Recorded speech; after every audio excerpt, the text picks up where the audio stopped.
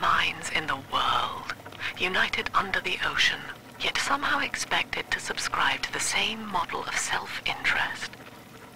Ryan could be staggeringly naive.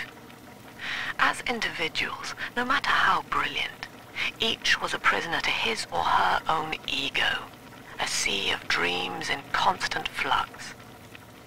But in Adam, their genes remain, ready to be tested against a moral vessel. Utopia cannot precede the utopian. It will exist the moment we are fit to